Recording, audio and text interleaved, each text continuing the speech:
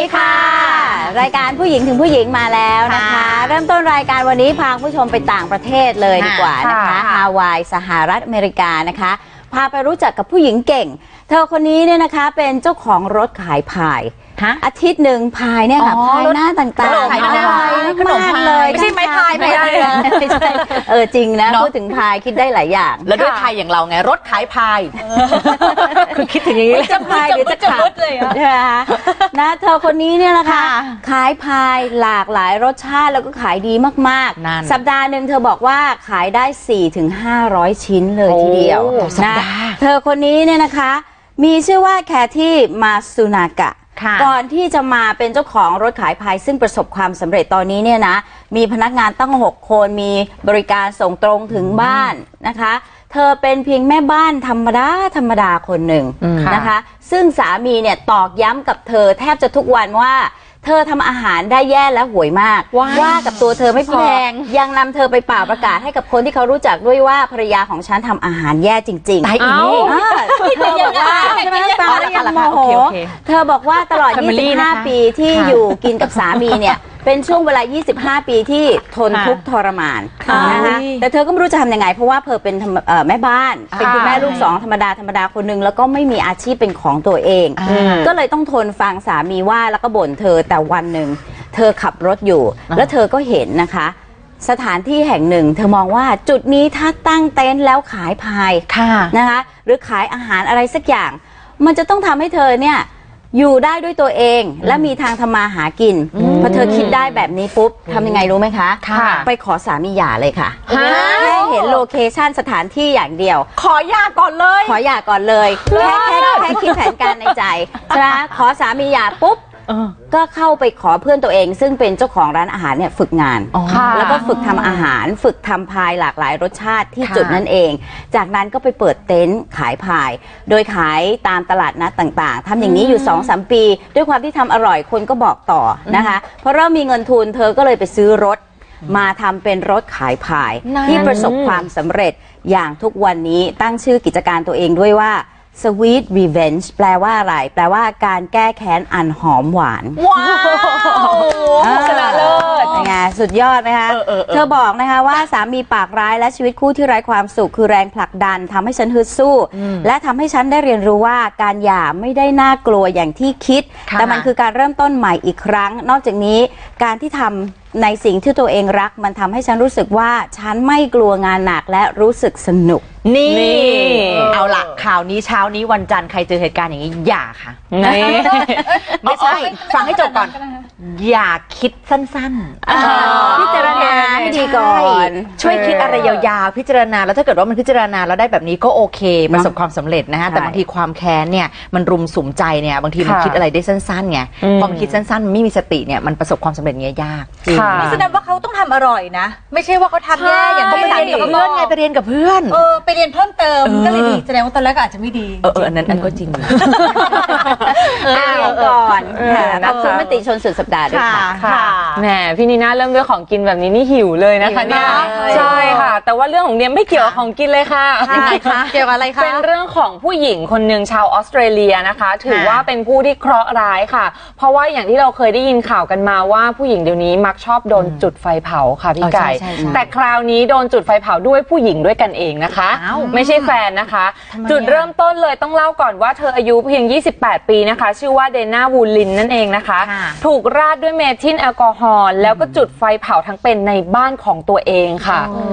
ก็คือสาเหตุค่ะ มีปาร์ตี้อยู่คืนหนึ่งเธอเนี่ยไปคุยกับหนุ่มคนนึงอ่าซึ่งแฟนของเป็นซึ่งเป็นแฟนของผู้หญิงที่อยู่ในปาร์ตี้ด้วยกันนั่นแหละค่ะแล้วพอผู้หญิงเห็นปั๊บหมั่นไส้ค่ะ แน่ รู้สึกหึงหวงแฟนแล้วก็หมั่นไส้เพราะเธอเนี่ยก็สวยด้วยนะคะ หมั่นไส้ปั๊บก็เลยไปจุดไฟเผาใบหน้าของบูลินที่บ้านจนเสียโฉมเลยนะคะ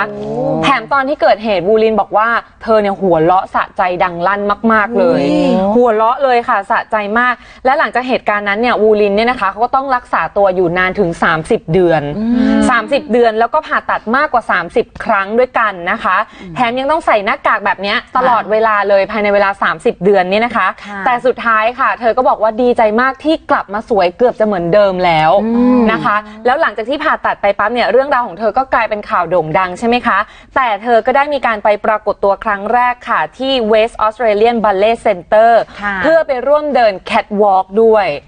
นี่ ไปเดิน catwalk ครั้งแรกหลังจากนั้นมาออกมาปั๊บคนปรบมือให้เลย เพราะรู้ว่าเนี่ยเธอผ่านเหตุการณ์แบบนั้นมาแล้วใช่ไหมนะคะ แล้วก็ออกมาสวยเกือบจะเหมือนเดิม แล้วก็มีความมั่นใจ เธอบอกว่าเธอไม่เคยย่อท้อเลยค่ะ แล้วก็ตั้งใจมากว่าอยากจะกลับมาสวยให้ได้เหมือนเดิมนี่ไงภาพที่เห็นนี่คือหลังจากที่โดนแล้วใช่ไหมใช่ค่ะเมื่อกี้นหลังจากโดนแล้วก็โอเคนะติดรอยสวยแล้วนะตรงคางอะไรนิดเดียวเองนอกนั้นก็ดูก็ดูสวยใช่ค่ะ แล้วก็คนที่ทำเธอเนี่ยนะคะ ตอนนี้ถูก ศาลตัดสินจำคุก 17 ปีค่ะ นั่นเห็นไหมไม่น่าเชื่อ ทำผิดก็ต้องเจอนี่ไงนี่คือความแค้นเห็นไหมค่ะอแค่เห็นปุ๊บแค้นหึงไงจัดการเลย ใช่ แต่ผู้หญิงเราเห็นไหมฮะใจ อะไรก็ไม่ได้จะเสียจะอะไรแต่ใจมันสู้มันไปให้ถึงได้ใช่ ผ่าตัดค่ะสามสิบกว่าครั้ง30กว่าโอ้ยคิดดูเหอะสามสิบเดือนน่ะ ใช่แค่พี่ผ่าตัดคลอดลูกครั้งเดียวนี่ก็ อืมจะมีอีกคนดีไหมนะอะไรอย่างเงี้ยเอออย่าเพิ่งย่อท้อเห็นไหมอย่าเพิ่งย่อท้ออย่าเพิ่งย่อท้อเหรออย่าเพิ่งย่อท้อมีอีกนะ คือไม่ได้ท้อช่วงผ่าตัดคลอดลูกอย่างเดียวท้อ แล้วก็เว้นวักเป็นจุดไข่ปลาไว้เออท้อหลายช่วงคุยกับสามีจุดอยู่อะไรอย่างเงี้ยเอออ๋ออะมาดูข่าวนี้ต่อไหมอันนี้เป็นเรื่องของการจุดไฟเผาใช่ไหมใช่ค่ะ พอพูดถึงจุดไฟมีเรื่องหนึ่งก็คือเรื่องของบุหรี่ ค่ะ เราก็เตือนกันว่าบุหรี่เนี่ยเป็นเรื่องที่ไม่ดีอย่างนั้นอย่างนี้นะคะ แต่มีคนหนึ่งเขามีวิธีการเตือนชาวบ้านเขา แล้วได้ผลชะงักนักแลโอ้ ไปดูว่าคืออะไรค่ะแน่อันนี้นะคะเป็นการส่งข่าวมาจากจังหวัดลำพูน ตั้งเต็นท์เลยใช่ไหมเมื่อกี้เขียนเหมือนกันไหมชุมชนริมปิงนะซึ่งก็มีเทคนิคนะคะ เป็นวิธีที่ทำให้คนในชุมชนเนี่ยเลิกบุหรี่ได้โดยคุณทวัชชัยกันทวันนา เป็นผู้อำนวยการกองสาธารณสุขแล้วก็สิ่งแวดล้อมนะคะสำนักงานเทศบาลตำบลริมปิง บอกเลยว่า เวลาพูดถึงพิษภัยของบุหรี่เนี่ยมันไม่ดีอย่างนี้มันทำให้เป็นมะเร็งอย่างนั้นอย่างนี้ ชาวบ้านก็ชิวๆเพราะมันติดนี่ถูกไหมค่ะก็สูบเหมือนเดิม ปรากฏก็เลยใช้วิธีหนึ่งค่ะ เรียกว่าประดิษฐ์ไอ้สิ่งสิ่งหนึ่งชื่อมา ชื่อว่า d e v o l s แน่เป็นอุปกรณ์สาธิตทำให้เห็นพิษภัยของบุหรี่ เมื่อเราพูดเราสอนเราอบรม เราก็ต้องมีอุปกรณ์เนี้ยให้เห็นภาพด้วย วิธีการของเจ้าอุปกรณ์นี้ก็คืออย่างนี้ค่ะ เขาประกอบด้วยถังน้ำขนาด 6 ลิตร เจาะรูบริเวณฝาเกลียวแล้วก็ก้นถัง เมื่อถึงขั้นตอนการสาธิตก็จะนำดินน้ำมันเนี่ยมาอุดบริเวณก้นถังไว้แบบนี้นะคะ จากนั้นก็เปิดฝาเกลียวออก อ่าเปิดฝาเกลียวออกเทน้ำสองลิตรลงในถังจุดบุหรี่เสียบลงไปในฝาเกลียว แล้วก็หมุนฝาเกลียวนั้นปิดขวด พร้อมกับดึงดินน้ำมันที่อุดอยู่ที่ก้นปล่อยเอ่อปล่อยน้ำออกมาให้ไหลจนหมดนะเมื่อกี้อุดไว้ใช่ไหมปล่อยให้ไหลมาจนหมด จากนั้นค่ะ เปิดฝาเกลียว ใช้กระดาษทิชชู่ปิดปากขวดไว้ ใช้ที่สูบลมขนาดเล็ก อัดควันบุหรี่จากก้นถังให้ลอยขึ้นไปอยู่ปากขวด ให้เห็นชัดๆเลยว่าควันอยู่ตรงนี้นะค่ะพอนำทิชชู่ออก ให้เห็นเลยว่าทิชชู่นั้นเป็นสีน้ำตาลเข้มลักษณะเนี่ยเหนะมือนปอดปอดใช่ไหมคะ ถูกต้องน้องปูนี่เอาทิชชู่ทิชชู่ ปิดไว้นะคะอ่าพี่เกดก็เล่านำหน้าภาพไป เพราะใจมันสั่งไปเร็ว เห็นไหมพอทิชชู่ปิดไว้ปุ๊บใช้ที่สูบลมขนาดเล็กอัดควันบุหรี่อีก จากก้นถังให้ลอยขึ้นไปปากขวด เพราะเวลาคนเราสูบบุหรี่เนี่ยมันเป็นอย่างนี้จริงค่ะๆเราอัดควันบุหรี่เข้าไปที่ปอดตลอดเวลาเห็นไหมคะแล้วเห็นเลยว่ากระดาษทิชชู่จากสีขาวเปลี่ยนเป็นสีนี้เลยคือสีน้ำตาลเข้มค่ะแล้วเป็นเคลือบๆไหมค่ะเออเป็นนิโคตินเคลือบไว้เลย แล้วคุณทวัชชัยจะบอกเลยว่าเวลาคุณสูบบุหรี่ทุกครั้งที่คุณอัดเข้าปอดปอดคุณเป็นสีแบบนี้เคลือบไว้ตลอดเวลา คุณจะไปเอาอะไรขูดออกมาคะชาวบ้านเปลี่ยนเลยจากที่เคยสูบบุหรี่เห็นภาพนี้ปุ๊บ โอ้โหขยงไปหลายคน ค่ะ ไปฟังเสียงดูค่ะคนเพราะว่ามันเป็นความท้าทายที่ว่าการเลิกบุหรี่นั้นยากกว่าเลิกเหล้านะฮะในเรื่องของการเลิกบุหรี่แหละเราก็หาคิดรูปแบบที่จะให้อ่าคนที่สูบบุหรี่อยู่เนี่ยได้ตัดสินใจที่จะลดละเลิกบุหรี่ ก็เลยคิดนวัตกรรมที่หาอะไรสักอย่างที่เขาเห็นปั๊บแหละโอเคใช่เลย แล้วอยากที่จะมาเข้ารับการตรวจ นะฮะแล้วก็ตัดสินใจที่จะลดละเลิกบุหรี่นี่ก็เช่นเดียวกันนะครับ ตัว D นะครับตัว DE นี่คือตัว demonstrate ก็คือการสาธิต W นะครับ WA นี่คือ water คือน้ำนะครับ L คือลังคือปอดตาตัว S สุดท้ายก็คือ smoke คือควันนะครับจะเป็นตัวที่ช่วยสร้างความตระหนักให้คนเนี่ยเห็นปั๊บอ่าแล้วจะได้ลดละเลิกบุหรี่ เพราะว่าถ้าเราสาธิตปั๊บเนี่ยเราจะเห็นเลยว่าสูบแค่แค่บุหรี่มวลเดียว ทำให้เกิดควันขนาดนี้ และเกิดสารนิโคตินที่จะไปเกาะกับปอดเขานะฮะเมื่อปอดเกาะเสร็จแล้วเขาจะได้ตระหนักว่าเขาสูบมาระยะเวลาตั้งวันละกี่มวลแล้วก็สูบมากี่ปี แล้วไอ้ควันเนี่ยมันไปติดในปอดขนาดไหน แล้วถ้าเกิดพื้นที่ในปอดลดลงเนี่ยเขาจะหายใจลำบากในบ้านปลายของชีวิตนะฮะอาจจะเกิดโรคแทรกซ้อนต่างๆ ตามมา เป็นตัวที่ช่วยให้คนได้ตัดสินใจที่จะลดละเลิกบุหรี่นะครับหันมาหนึ่งก็ด้วยใจสองต้องอู้กับ คนใกล้ชิดเฮาเพื่อเข้าใจเฮาเพราะว่าการเลิกบุหรี่เนี่ยหนึ่งหงุดหงิดสองขี้โมโหง่าย ถ้าเลิกได้แล้วก็ก็เป็นสิ่งที่ดีๆก็เฮาครอบครัวเฮาก็มีความสุขเพราะก็ทุกครั้งก็เวลาเฮาสูบบุหรี่เนี่ยกินไม่ติดตัวทำให้อ่าคนใกล้ชิดเฮาบอกอยาเข้ามาหา เพราะว่ามันมันสาบกินบุหรี่แต่ถ้าเฮาเลิกได้นี่ก็คือว่าอ่าเป็นเป็นสิ่งที่ดีอะคือควันบุหรี่ก็อย่างก็บัตรซาบติดเสื้อที่ผ้าทำให้เรา สุขภาพดีขึ้นมาก็ทำให้ผมเนี่ยหายใจสะดวกดีขึ้นทำให้ร่างกายเขาอ่าบะบะอ่อนคล้ายๆแบบบะเหนื่อยง่ายนะครับ เออหันใจเนอร์บ่ใจเลิกง่ายๆในบุรีเนี่ยใช่ ใช่ไหมพูดพอได้ไหมคะจะประมาณนั้นนะคะคนเชียงใหม่พูดได้ไม่ต่างจากพี่ไก่เท่าไหร่เอาเหรอคนพิษณุโลกมีเพื่อนสนิทเป็นคนเชียงรายค่ะฟังเขาคุยกันกับพี่น้องโอ้โหพยายามก๊อปปี้มาก คุยไปคุยมาจะเป็นอีสานตลอดพี่เก๋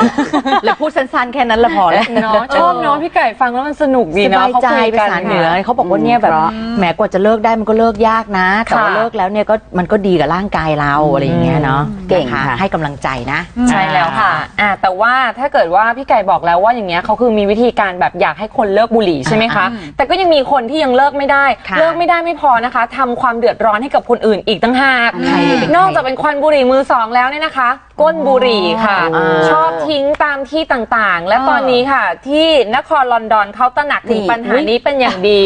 เพราะเขาบอกเลยว่าลำคาญแล้วนะ ที่จะต้องรับผิดชอบค่าทำความสะอาดกับงบประมาณ 3.8 ล้านปอนด์ต่อปีโอ้ดูสิเพื่อกำจัดก้นบุหรี่เนี่ยประมาณ 6 ล้านตัวค่ะ โอ้เขาบอกเลยว่าก็เลยคิดแคมเปญรณรงค์ขึ้นมาแบบสุดแสบเลย ให้กับสิ่งลมควันทั้งหลายนะคะ เพราะเขาเนี่ยได้ไปจับมือร่วมกับองค์กรพิทักษ์เรื่องความสะอาด Keep Britain Tidy นั่นเองนะคะ เป็นแคมเปญรณรงค์สุดแสบเลยค่ะนี่ค่ะทั้งก้นบุหรี่อันใหญ่ ๆ แบบนี้เลย แล้วเห็นภาพสุดๆใช่ เนาะโดยเฉพาะร้านอาหารและบาร์อย่างเงี้ยโอ้โหมีแต่ก้นบุหรี่โอ้โหดูในน้ำสิ แม่น้ำเขาบอกเลยค่ะว่าตอนนี้ทำออกมาทุกทาง ไม่ว่าจะเป็นเหมือนงานศิลปะเป็นก้นบุหรี่ชิ้นใหญ่ ๆ เป็นวิดีโอ present เป็นค่ะ ภาพป้ายโฆษณา คือทำออกมาเยอะมากเพื่อให้สิงห์อมควันทั้งหลายเขารู้ว่าเนี่ยก้นบุหรี่ที่คุณคิดว่ามันชิ้นเล็กๆเนี่ยเวลาทิ้งลงไป รู้ไหมจริงๆ มันเป็นปัญหาใหญ่มากๆ มันไม่ได้เป็นปัญหาเล็กๆ เลย ไม่ว่าจะเป็นคนที่อยู่ร่วมกับคุณ หรือว่าองค์กรต่างๆ ที่เขาต้องมาทำความสะอาดเนี่ยมันหนักหนามากนะ เพราะคุณทิ้งกันทุกวันใช่คนหนึงไม่ได้สูบแค่ วันละมวลหรืออะไรก็แล้วแต่หลายตัวมากๆ แล้วเขาบอกว่าเขาเสียเวลากับการทำความสะอาดกับก้นบุหรี่มาก ถ้าคิดจะสูบต่อไป ค่ะเขาบอกเลยว่าคุณอาจจะต้องทิ้งให้ถูกที่ หรือพกที่เขี่ยบุหรี่มาเองเออจริงจบไปเนาะจบเลย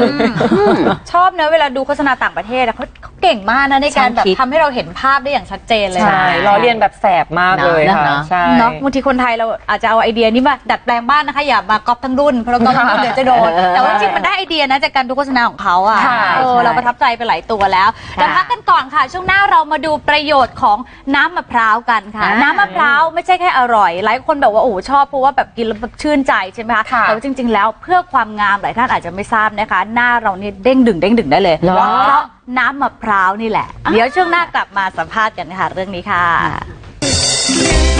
ขอบอกว่า สาวสาวๆที่ชอบวิชาคณิตศาสตร์ เป็นคนช่างคิด ชอบวางแผน และมีความกระตือรือร้นเ